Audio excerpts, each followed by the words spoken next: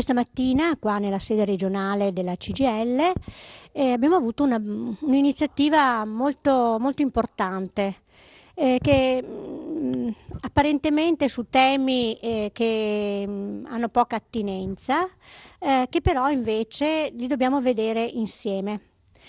E abbiamo cominciato con eh, un incontro con il professor Michele Cortellazzo dell'Università di Padova che ci ha parlato del maschile e femminile nel discorso pubblico.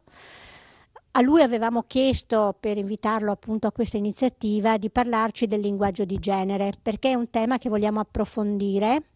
eh, perché comunque anche il linguaggio che non è usato correttamente nel designare eh, il maschile e il femminile è una sottile violenza o comunque da un punto di vista simbolico ehm, ha un significato di discriminazione in qualche modo, perché i ruoli mh, sociali, i ruoli professionali, i ruoli amministrativi eh, per lo più sono sempre stati declinati al maschile e si fa molta fatica invece nel momento in cui le donne stanno rompendo quel tetto di cristallo che le tiene giù nonostante siano l'altra metà del cielo no? eh, e, e, e le donne appunto rivestono sempre più posti invece che finora era un appannaggio degli uomini, e si fa fatica a chiamarle con ehm, il, il, il nome femminile. Quindi molta difficoltà a dire sindaca invece che sindaco, dire assessora, eh, ma anche nelle professioni a dire architetta, a dire ingegnera, a dire avvocata. E davvero il professore questa mattina ci ha fatto una, un'illustrazione addirittura con foto no? prese da um, eh, targhe di professioniste donne che si eh, declinano al maschile perché anche fra le donne purtroppo eh, c'è una difficoltà ad accettare è quello che eh, comunemente si dice, eh, ma eh, non suona bene, no? non, ma eh, come diceva appunto il, il, professor Cortellazzo, è una questione di abitudine. Eh, c'è sempre stata un, una prima volta per tutto, anche per il maschile, eh? perché e, e fa, qua faceva per esempio, era interessante il, um, il confronto con la levatrice, una figura tipicamente femminile. Come chiamiamo il corrispettivo maschile, visto che da qualche anno, e qua purtroppo solo da qualche anno, stanno eh, diventando eh, ostetrici, diciamo così, anche maschi, il bisognerebbe dire, a parte che non si usa dire levatrice o levatore, ormai la figura è l'ostetrica, e l'ostetrico non c'è niente da fare e, e, e la grammatica eh, è semplice, basta applicarla. Quindi eh, anche tutte le difficoltà che abbiamo a chiamare eh, le persone con il loro nome, con la loro qualifica, insomma è una questione di abitudine.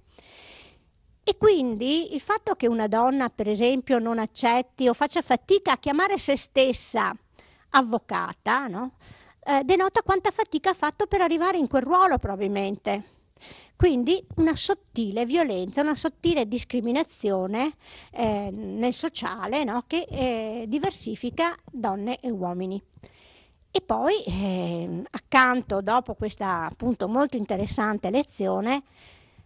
vedere questa mostra, vedere il video che eh, illustra questa mostra ci ha preso davvero allo stomaco. No? Queste donne, questi volti, questi ritratti di donna fatti proprio dalla, da Paola Volpato, che è una fotografa, ma anche vediamo una eh, disegnatrice veramente eh, molto attenta e molto eh, a, cogliere proprio le espressioni, eh, perché questi sono ritratti del, eh, dipinti dalle foto apparse sui giornali delle donne ammazzate eh, per mano quasi sempre dei loro oh, congiunti o ex, o ex partner o mariti o fidanzati. E quindi eh, il, eh, copiati, ritratti copiati dalle foto dei giornali e laddove vedete dei vuoti, si vedono dei vuoti in questa mostra, è perché nei giornali non avevano neanche una foto da mettere. Quindi eh, anche donne poco considerate e poco conosciute. E quindi si è passati da un linguaggio apparentemente, come dicevo, semplice, eh, frivolo quasi, non lo so, a questa cosa invece da una portata emozionale molto molto forte, però eh, è importante, sono gli estremi di uno stesso discorso, di una violenza che dobbiamo combattere tutti quanti assieme, donne e uomini, eh, perché davvero in questo mondo si viva felici tutti insieme. Non c'è nulla di più generale e naturale che eh, declinare al femminile i nomi di mestieri, professioni, cariche quando a eh, occuparli, a svolgerli sono delle donne. Come diciamo cuoca, fornaia, maestra, infermiera, così dovremmo dire senza alcun dubbio avvocata, mh, mm, ingegnera, architetta e via dicendo. Qual è l'evoluzione quindi dell'ultimo periodo? Allora, mm, quello che è da notare, soprattutto negli ultimi anni, è un'evoluzione certamente in direzione dell'approfondimento, dell'allargamento dell'uso del femminile, che mostra movimenti diversi a seconda delle singole parole. Per esempio per sindaca degli ultimi tre anni c'è stato un forte diciamo, consolidamento dell'uso della forma femminile se a svolgere la funzione di sindaco in un comune è una donna. Nella politica, cosa, quindi a parte il sindaco, che cosa succede nella politica? Allora, diciamo che nella politica il, mm, ci sono casi diversi. Quello che per me dovrebbe essere ancora più semplice, che è quello per esempio dei, dei presidenti dei consessi. Eh, l'onorevole Boldrini ha fatto in maniera che, di essere chiamata la Presidente, e già su questo ci sono state fortissime polemiche, compreso quelle dei costi ritenuti esorbitanti perché ha fatto ristampare la carta intestata, che non credo che siano queste le spese che possono mettere in crisi un'istituzione da un bilancio piuttosto corposo come quello della Camera. Mm, nel momento in cui eh, il numero delle donne che hanno, sono entrate al governo è alto, si è diffuso abbastanza il, mm, la dicitura ministra,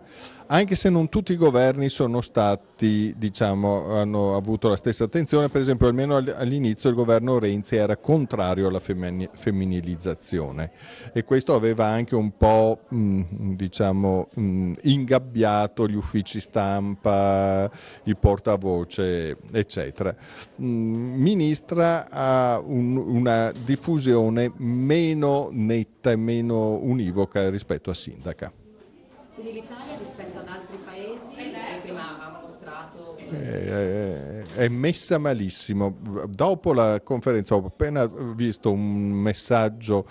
generale su, eh, su Facebook di un insegnante in una classe con molti studenti stranieri che sono rimasti allibiti, anche diciamo, eh, studenti che provengono da paesi in cui si parla l'arabo, che in Italia abbia, abbiamo questo problema, considerando naturale la eh, declinazione per genere di qualsiasi nome che si riferisce a una persona specifica. Io credo che l'unica maniera sia usare le forme femminili in più mm, persone, soprattutto chi ha responsabilità pubbliche, e in primis i giornali e i giornali devo dire che stanno evolvendo molto rapidamente da questo punto di vista. Naturalmente ci sono delle forti resistenze anche da parte di donne e l'esito finale dipende dall'equilibrio che si viene a instaurare tra chi attraverso corsi, conferenze eccetera quantomeno fa nascere, fa crescere la consapevolezza della correttezza della femminilizzazione e chi per ragioni le più varie, a volte molto spesso diciamo senza malizia, resiste rispetto a quello che dovrebbe essere un movimento naturale della lingua. Questo lavoro, dal punto di vista del mio lavoro, mi ha dato molto perché ho capito che il canone estetico eh, che è usato sulle donne è molto diverso da quello che è il canone reale, cioè da quello che è la realtà. Partire da queste donne che sono praticamente quelle più, diciamo, maltrattate, quelle che sono state uccise, è stato per me come un rendermi conto che la bellezza invece è in ogni persona e in queste persone io ho visto molta bellezza. Come CGL del Veneto abbiamo deciso che in occasione della, del 25 novembre, giornata mondiale contro la violenza sulle donne, di organizzare questa mostra la, abbiamo scelto questa mostra perché mostra i volti delle donne che sono state uccise. È una mostra molto forte perché guardi negli occhi queste donne che hanno perso la vita per mano molto spesso dei loro compagni, del, de, di familiari e quindi si esprime in maniera proprio palese, visibile, come la violenza venga spesso esercitata all'interno della famiglia. Per noi era necessario trovare un momento di riflessione come facciamo ogni anno e non è l'unica iniziativa, nei territori ce ne saranno tantissime altre,